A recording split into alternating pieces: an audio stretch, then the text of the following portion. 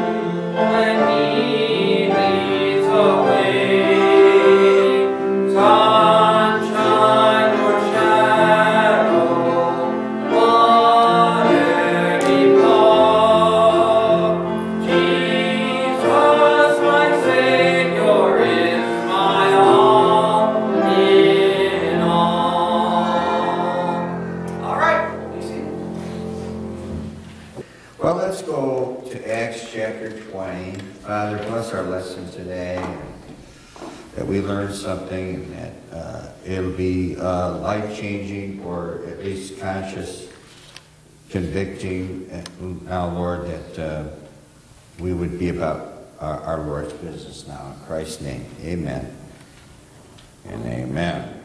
All right, we did start at verse 28 last time we met about the overseers and that they are to feed the flock of God. I have never, ever, have we ever here used a curriculum. I have just I look at those curriculums and, and we, we've, I, wherever I've gone, I should not, I, I take that back. Not wherever I've gone. At Bible believers, he never used their curriculum. Did, did, uh, uh, they could have used it back in the Sunday schools, but Pastor Kip never used a curriculum. never once. Have any of you ever been in a church, another Baptist church, where they did not use a, you know, the quarterly or the monthly or the, the curriculum that they purchased? Or were you always involved in a church that purchased a uh, curriculum? Oh, I haven't had a curriculum.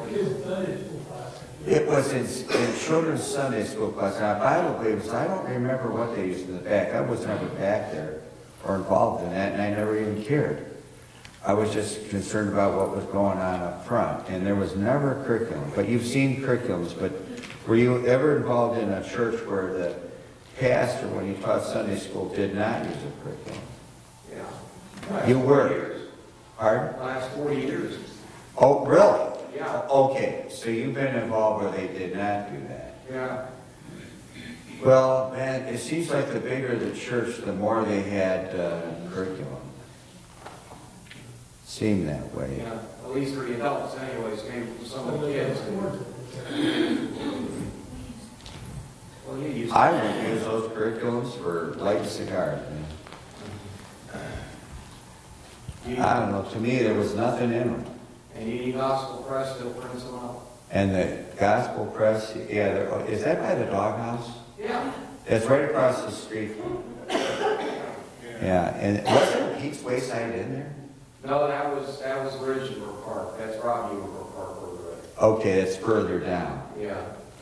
And that was the last stop before, Yeah, well, Beach Wayside Inn's and Arby's now. oh, it's an On that Arby's. side, on that side. Still get food, but no gas. That's across the street. Yeah. Well, the job of the preacher is to feed the flock of God. And uh, then we looked at that he had purchased, he purchased with his own blood, we looked at that.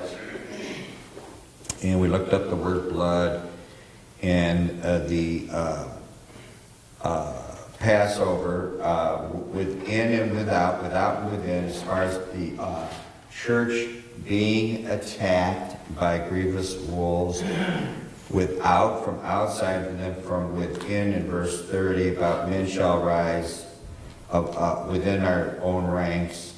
And then it is uh, able to build you up. The Word of God is able to build you up. And we looked at those verses. I think I discussed last week uh, Jude 20, building you up, and, and I gave that outline because I think I have like seven points there in Jude, verse 20 through verse 25.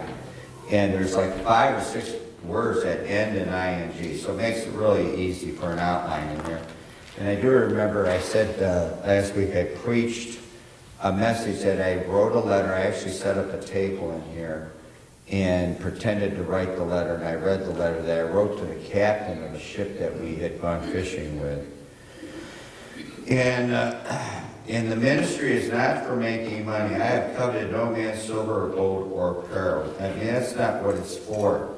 And uh, man, when you uh, see on television, uh, you know, send your money here and there and, and so on. Uh, I forget which one of these television people, they said the desk that the guy had was a quarter of a million dollars. Wow. Something like that. Secret compartments and, and maybe that's maybe that's underestimating the value of it. But um, would there be uh, would there be others out there that would uh, frown on this building? There would be. Where are you supposed to meet then, in their eyes? Oh, you're in the middle of an industrial area. Well, well, where are you supposed to? Are you supposed to build a building? I I want a storefront downtown Twenty-Fifth Street. There are guys that do that. It's a great place to have a church. They do them in storefronts. Uh, but, but that's probably even evil. You got to pay the rent. Well, Somebody's gotta pay the, God, somebody's got to pay the fare. Where, where else would you meet? You can't meet in the temple. It's gone, and you can't meet at the Catholic Church where you got saved out of it. Because the pope, the pope, the priest is going to kick you out. They eventually kick all those people out. Say that again? The parishioners out. You would meet at the houses. The uh, Amish still do that. They do that, and then, and how can you tell where they're going to meet, by the way? You can always tell where they're going to meet. Wherever the wagons are, and during the week, what's piled up, anybody know what's piled up on the uh, porch? The, the, the the benches. The benches, the pews, the, wherever they're going to be, they transfer. Now, I'm not sure all Amish do this, but I've heard this. They move the, the benches to wherever they're going to meet for the next week. And um, you can, and, and why did they move around? They were, it's a tradition and it was for fear of persecution. They kept the, they kept the sheriff of Nottingham on his toes looking for him. All right, so wherever they were going to meet so that they would, they could meet and then break, break up before the authorities came in and broke them up. So, well, anyway, the ministry is not for making money. Uh, I have been asked, and I've been in churches where I've been asked to quote doing work, you know, a plaque or this or that, and man, some of these churches, they have money to burn. And, uh, and some of the uh, preachers, uh, man, they wear gold chains and just, it's, it's something. At least it looks like gold in what they're, they're wearing. And it's, it's generally not Baptist churches. In verse 34, uh, that he had worked uh, for his own necessities and those that were with him, and he administered to that. In other words, the preacher can work and support himself. All right, our last page, at least last page that I have. And I don't know if we have enough material to cover the balance of, of uh, this hour. Anyway, verse 35. Yea, ye yourselves know that these hands have ministered unto my necessities and to them that were with me. I have showed you all things, how that so laboring ye ought to support the weak.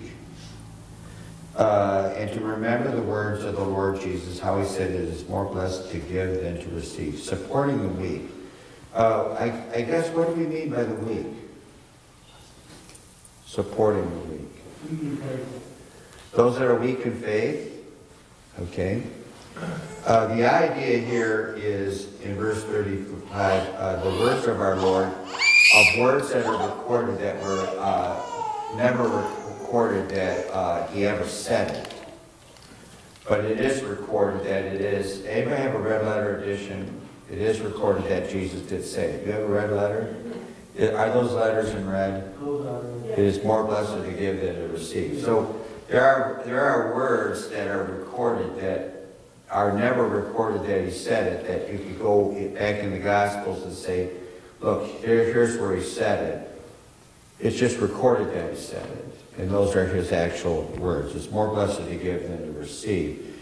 And in this case, if you keep in the context of that verse, supporting the weak, um, weak in faith, what else could they be weak in? Physical things, Physical things. Unable to- Not, not only spiritual things. unable, unable to provide for themselves. Unable to provide for themselves. I, I, I would go is supporting the weak that are uh, spiritually weak and physically weak. Cannot support themselves. And, uh, and we are to do that. They can be uh, weak in various ways. Can you get weary in doing that? Weary and will, weary in well doing. Let's go ahead. There's a half a dozen verses. Let's go ahead and look them up. Romans 15, verse 1. Romans 15, verse 1. We then that are strong. All right, there are people who are physically strong ought to bear the infirmities of the weak and not to please ourselves. So that would be willing to give of yourselves to support both physically and spiritually those that are weak, bearing their infirmities, the strong. Uh, let's see. It- Let's just take them in order. I don't know how they're in order in your, your list there, but 1 Thessalonians 5, those are all those short phrases that are given. There's many of them. And it's, it's talking about the feeble-minded. Uh, 1 Thessalonians 5.14. Um, let's see. I meant 2 Thessalonians. 1 Thessalonians 5.14. Did I say second? First, that, 1 Thessalonians 5.14. Now we exhort, uh, meaning to encourage you. Encourage you, brethren, warn them that are unruly. There are people who are unruly in the church. I mean, we were involved in a church where uh, some of the young kids were unruly. Uh, in, they, they were unruly with their parents. They were unruly in the church. They were unruly with uh, the leadership in the church. And they were unruly then with law, too. And um, there is, uh, my dad would say, the long arm of the law. Ever hear that expression, the long arm of the law? The long arm of the law will eventually hit. Johnny Law. Pardon? Johnny Law. John Law? John Law.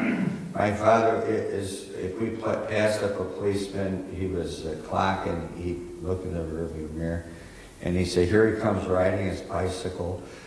You know, he would joke around a little bit about, but he would always say the arm of the law. and Probably there's other expressions he would say, but uh, warn them that are unruly. There are unruly people. We'll send him to the Steel Bar Hotel. And say that again? We'll send you to the Steel Bar Hotel. Oh, the steel bar. Comfort the feeble-minded. There are people who are feeble-minded. There just are. There, uh, uh, you could say, well, you put up with it, but no. Folks, they, they can't help it. They cannot help it. Support the weak. There are people who are weak. Be patient towards not some men, but all men. All men. And that takes that takes uh, the power of the Holy Spirit to do that, to really minister uh, that way. It's uh, more blessed to give than to receive. Sometimes you can get weary and well doing in doing those things. You can do that. And how did how did Paul get through it in 1 Corinthians 15? He did more than they all, but it was strictly by the grace of God. He did it because of the power of the grace of God that was with him. 2 Corinthians 11. 2 Corinthians 11, 9. 2 Corinthians 11 is, is uh, where it says uh, the simplicity of the gospel, the simplicity that is in Christ, and talks about the devil's ministers. Uh, 11, 9, it's in between there. The simplicity that is in Christ is verse 3, and uh, Satan's ministers is uh, like verse 13 on. But verse 9, and when I was present with you and wanted, I was chargeable to no man. For that which was lacking to me, the brethren which came from Macedonia supplied. The idea is that they gave to Paul when he had lacked. Uh, uh, for that which was lacking to me, the brethren which came from Macedonia supplied. And in all things I have kept myself from being burdensome. Know, when the government supplied supplied that stuff during the uh, uh, depression, what did they supply you with? They stand, stood in these food lines. My mother said they would stand there all day. And what would they get? Cup of soup and a piece of bread. Uh, no, uh, it wasn't their daily need. I think my mother would stand all day in line for a, a, a box of oranges. You know, they, they would, or they would get something they really didn't want. My, my grandmother worked for Stouffer's in the kitchen. She used to bring home steaks to mom to her, to her family. Well, my father, my They were in father, her and, and they would do what? now? They they were in her coat. Uh, they would give her a Black finger discount. Oh. Well, uh, my father had a good job, and then he decided I'm leaving that job. So he went, uh, he left that job to get this, uh, get involved in a business that went down. And I think he got involved in another business that went under. And then he started his own business. He, he went from, uh, he went from, uh, the land of plenty to the land of nothing by starting his own business. And it went from, you know, dollars to pennies. And I remember, uh, I don't remember the woman's name. There was somebody down the street, and we, at that time we were in the Mennonite church. It was called Friendship Church, which was a satellite church of the church we ended up getting saved at later on in our 30s out in Aurora. It was a satellite church out here at uh, in uh, Southgate. It was the church in the woods. It's now the church in the surrounded by what? Or Stores, apartments, everything else. The It was, church retail. It was uh, The church and the retail. yeah, it's surrounded by everything but uh, woods, you know. And uh, we went there, and my fifth grade, my fifth and sixth grade teacher, last name was Miller. And then when we went to this church out in Aurora, I found out that the elder in the church, his name was Miller, and that my teacher's name, who was still alive, who lived up here, his last name was Miller, and they were brothers. And then I found out, well, that church when I was a kid, when we went there, when I was really, really little, you know, I could have been five or six, seven years old. And I think we only went there a couple years. I mean, to say we were Mennonite, we were just, we just went to church there. And, uh, you know, it's a small world. 30 years later, I meet their relatives. It was a mission church. You know, like you had missions. And then when I found out about missions in the Mennonite uh, community, and, and we brought that up because missionaries were coming in, and uh, they were discussing what they were doing. Uh, one group came in, they, they were missionaries to, uh, I believe it was in Kentucky. We're not, I'm not talking about North Virginia. Missionaries in Kentucky or West Virginia, and their mission was to build uh, not a well, a, a cistern, I think. They were building cisterns. And I talked to the uh, preacher about it. I said, well, where's Jesus? Where's Jesus in any of that? Because I just get, got saved. I was listening to the Almost Christian radio station for a long time. And uh, they weren't giving out the gospel. So I, uh, I confronted the preacher about it. I said, all that is is a mission of good works. I said, where's Jesus in any of that? And he said, know, he said, that's a good point. He said, I'm going to ask him. I remember the people distinctly. I don't remember their names. They were the nicest people. I'm not saying they were evil people. They were the nicest people. It was a husband and a wife. I don't think they had any children. And they were both very young, but they were building a cistern in a, in a town, probably for hillbillies. And, uh, and the whole church was there. It seemed like it was a Sunday night. And a Sunday night service there was, wasn't nothing like you would consider to be a Sunday night service. And I remember there were a lot of people there. And, and uh, so then it was time for question and answer. Question, well, the preacher raised his hand. He said, well, where's Jesus in any of that? He did ask him. He said, well, where's the gospel there? I don't think they even knew how to respond to it. He was, uh, and they were out of that church. And so he confronted them, and they did not have any response that was intelligible other than, uh, you know, buy your butter at Walmart. I mean, they, they didn't know what to say. And it really got me under conviction as to what are we doing here. But part of the ministry, though, is giving. And not just giving the gospel, but giving where people are lacking. I mean, uh, I, I think it's the Salvation Army that started this. Does the Salvation Army give out the gospel? And then I think they said, well, uh, uh, who, who is that? Uh, who's the founder of that?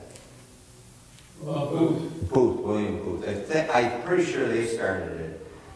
Is why should we just give these hungry men the gospel? What do they do first? The meal. They feed them first, then give them the gospel. I think they're the ones that started it. Maybe, maybe they weren't. But they get, they feed them first, and then they give them the gospel. gone liberal now. Oh, yeah, it's just, uh, just kind of too bad. I like your story. Anyway, uh, it was, uh, whatever was lacking to Paul, others had supplied. So that is part of the ministry, folks, that we are to, oh, I gave this story that we went from, uh, the land of plenty, because my dad worked at Fawick Airflex. And if anybody knows anything about Fawick, it, that became Eaton Clutch and Brake. Anybody heard of Eaton Clutch and Brake? It's on the west side, it's on Clifton. Yeah. It's over that way, Eaton Clutch and Brake. I don't know what's going on at Eaton anymore, or Eaton Clutch and Brake. It, it, it's a big thing. I mean, they, they, they supplied a lot of men their living. My dad was, uh, production manager. I think he wanted to become vice president, and he, uh, he didn't get the job, so he quit. So we went from the land of plenty. I mean, my mom and dad, they had some money.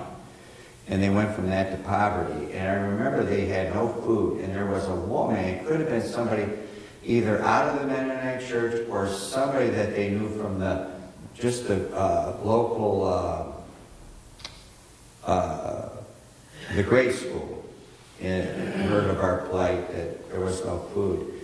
And um, I think the woman came by with a big basket of food for him, And they never forgot that. You help somebody like that, they'll never forget it. 1 Corinthians 9.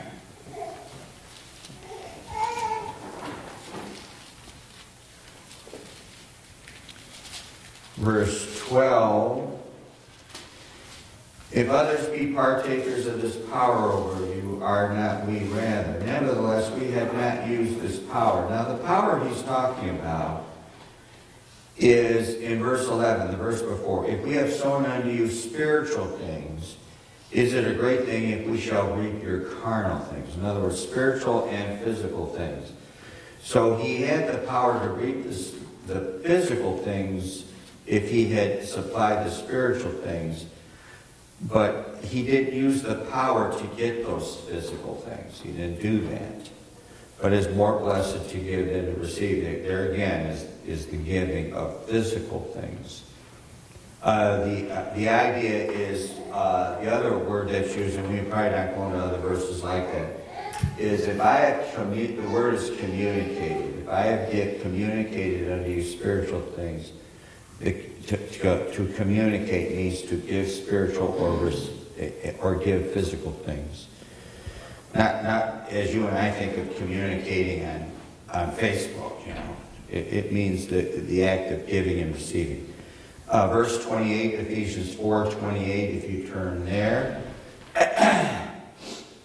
this, this art of giving and receiving is more blessed to give than to receive.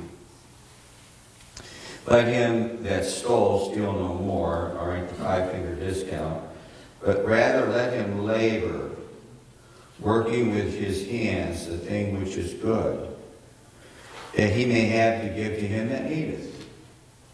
So if a man uh, stops stealing, goes out and makes an honest living, and then with that honest living, uh, gives to those that have need. Now, uh, does the government work? Is that an honest living? If you listen to uh, the one that teaches at Georgetown, and he sometimes, not lately, he was on Mark Levin lately, and he would take Rush Limbaugh's spot when he's on vacation at times. I can't think of his name. Uh, Williams? Uh, Walter Williams. Uh, he teaches economics. And basically, then what are taxes? Legalize what? Legalize theft. Legalize thievery. They take your money and give it to someone else. And who, which party is more willing to do that than any party? The Democrats. Well, all of them. But especially the Democrats, yes. Ephesians 4.28. It's not in your notes? It is in the notes. 428. Uh, go get a job so that you can supply. It's, it's, uh, the government in taxation is nothing more than legalized thievery. This uh, new, uh, this new thing that's shooting her mouth off, she got elected in New York. She wants to in- increase the um, margin or increase the taxes on the wealthy, not on you and I, to 70%. And uh, all that is is legalized theft, taking it from one group and giving it to another. And I, I weigh this, these people that are, these new, these new people getting in, all it is is who's got the biggest flap to them. I mean, they just got a big mouth, you got enough dumb people to vote for them. And they can't, and they can't shut up and no one can shout them down. Uh, I think she majored in economics, and she, she couldn't figure out her own checkbook. But she sure can figure out what's in your bank account. and uh, anyway, uh, the idea is go earn a living, and then with your surplus, you can give to those that have a need. A need, giving it away. Uh, Matthew 10, And there's other verses to support all this. Matthew 10, the Gospel of Matthew. 10 verse 8.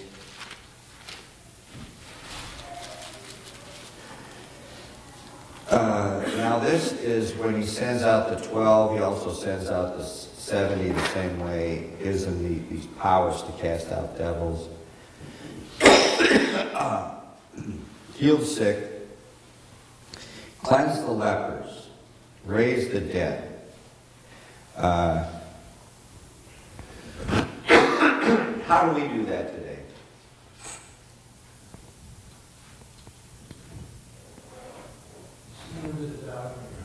Send them to the doctor, uh, spiritually. Uh, we, we, we certainly cannot, we, uh, it said, did it say cast out devils? Oh, Heal the sick, you give them the word of God, give them the word of God, and with that they get saved. and that casts out the devil. And that, and that casts the devil out. They are dead. I mean, we could spiritualize all this. We are dead in trespasses and sins. You're no longer dead. You're made alive, healing the sick. I mean, they're, they're, they're as sick as it gets, man. You have the wicked who were once dead. Exactly. So we spiritualize. That's how we do that by giving out the gospel. They get saved. Freely ye have received, freely give. We give that out freely. Uh, but if if you want to go physically, send them to the doctor. Help them out with their needs. You know, but my God shall supply all of them. You know, we've all heard the jokes about the flood. And the guy, he's on the, he, he vacates the first floor, goes to the second, and a boat comes along and says, hop in, right? And the, the joke, well, God didn't, I want God, and then he ends up on the roof. Finally he drowns, you know, the helicopter comes in, finally he drowns. And God says, well, I tried to help you, but you just, you just didn't, uh, listen, folks, God uses people to help others. God, obviously from this, uh, we are to comfort others if we go to Second Corinthians in our giving, comfort others with the comfort that we've been comforted with. So as you and I have been comforted by the Word of God and the Holy Spirit, we're to comfort them the same way. And so we comfort, we are to give. It's, it's a, uh, a life of giving, not of taking. Uh, it's like a husband and wife. Uh, they give to each other and so on. You give to your children and so on. All right, back if you would to Acts chapter 20, uh, verses 36 to 38. This last point in our W's.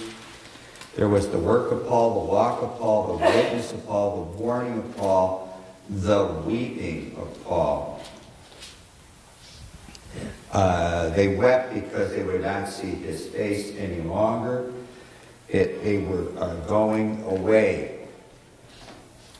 Uh, my sister was in, and uh, now I didn't read about it, but uh, she lives in Minnesota. My other sister did not come up for the funeral. She lives in Texas. She lives in San Antonio.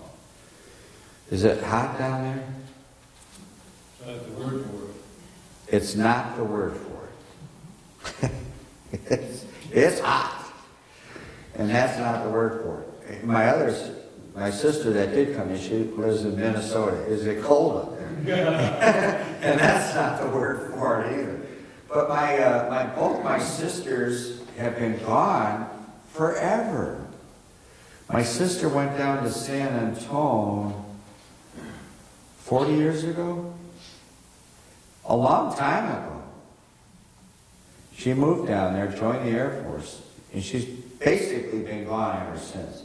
She'll come up here to visit my mother, but she's been gone forever.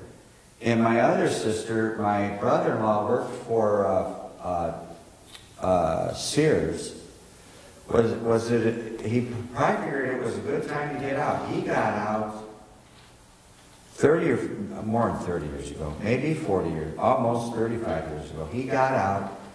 He was uh, ran a uh, the hardware department. He took early retirement, and probably Sears was already seeing the handwriting on the wall back then. And so they were offering, you know, get these guys out of here. because we want to hire cheaper help. And, and he, he cut ties and went to Colorado, from Colorado to Iowa, Iowa to Minnesota. They've been gone forever. So there's no great weeping if they've been already gone forever. Now, when my sister did go to San Antone, she, she cried. I remember we had a going away party for her, and she cried. Uh, but uh, they knew that he wasn't going to see him any longer. And so the separation that my sisters had with their, with, with their mother, they've already been separated a long time. Right? They rarely saw her. And then there was no communi- real communication for, we'll say, up to a year because my mother could not, you, you couldn't carry on a real conversation. And those that did, I was wondering, I don't, she didn't carry it on with us. But uh, as far as a real conversation, so those ties were breaking off.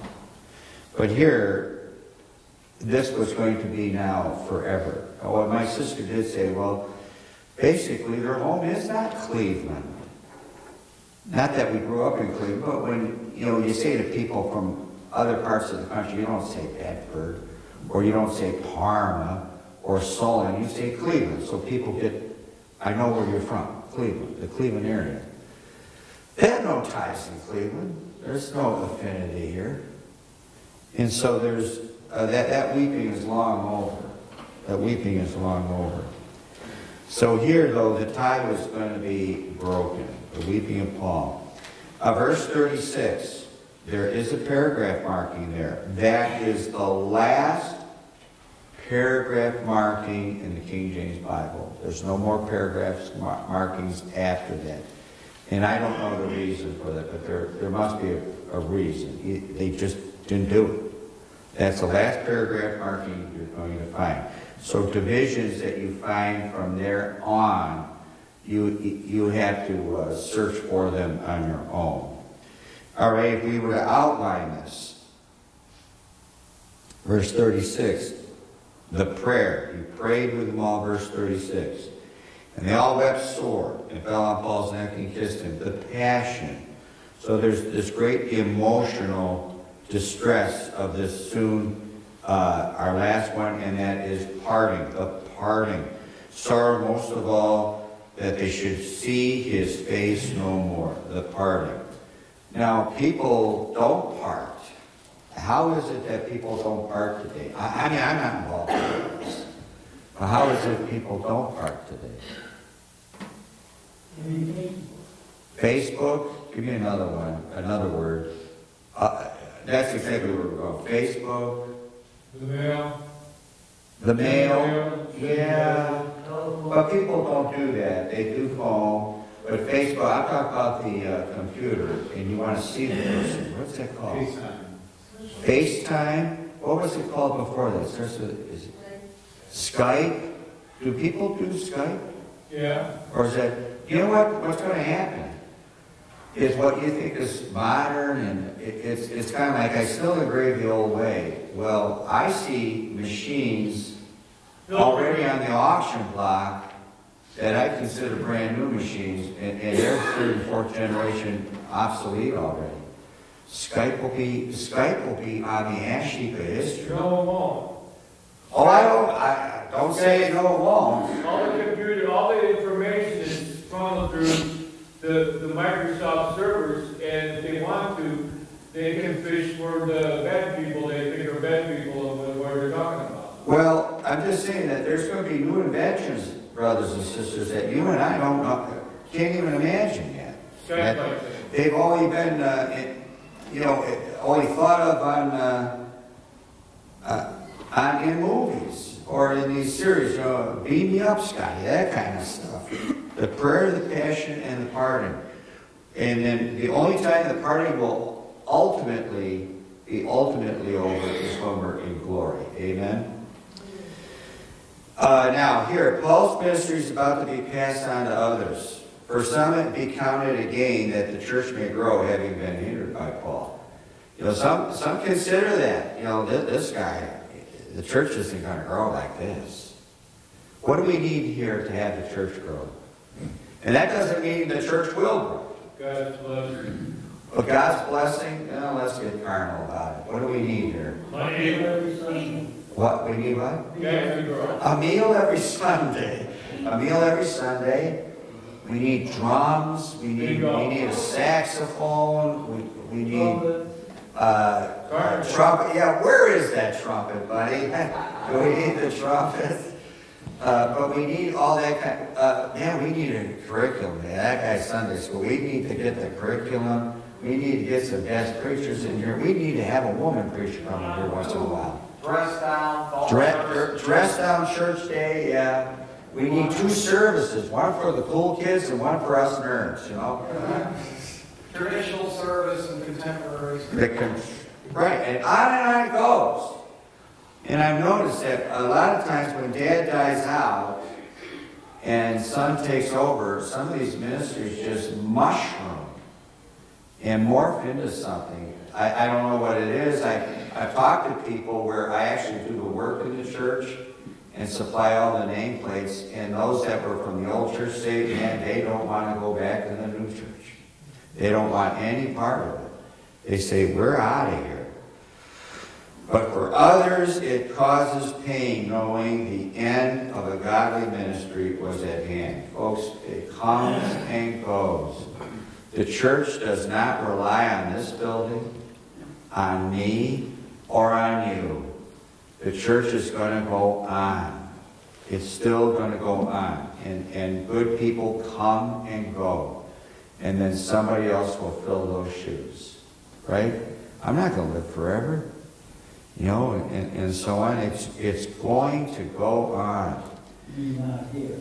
Pardon? Not here. N- Not here. It, it, it could go on in this, physically in this location, but man, they come and go. I mean, come on, 20 years ago, there was nothing here. There was a building, uh, a house, a building, no, we didn't need 20 years ago. I'm just rounding off the numbers. 20, there was a hole in the ground here. Business was here. Uh, there was, there was a house, people lived in it, and then that was a, uh, a VFW hall, the smallest VFW hall you'd ever want to see. And there, and a hole in the ground here. There was no business here. And the city did not want us here. Why don't they want us here? Because you don't pay taxes. Because we don't pay taxes. We don't pay property tax, so who wants the property tax in Bedford? The school system. We don't pay property tax. We pay line tax. We pay some sort of taxes. That's to keep the power on here. But the city doesn't want us here because we don't hire people.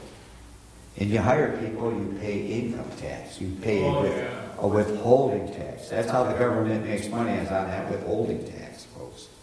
And anytime that the government comes in to enhance your business, it's only how to get you to hire more people so their revenue goes up. They they have no concern for your business. They just want you to hire people to raise and get more income, withholding tax from the labor that men and women put into the company so they can clean off the taxes that they feel is owed them. Shake hands and Father, bless the preaching now to follow. In Christ's name, amen. So as Acts 20.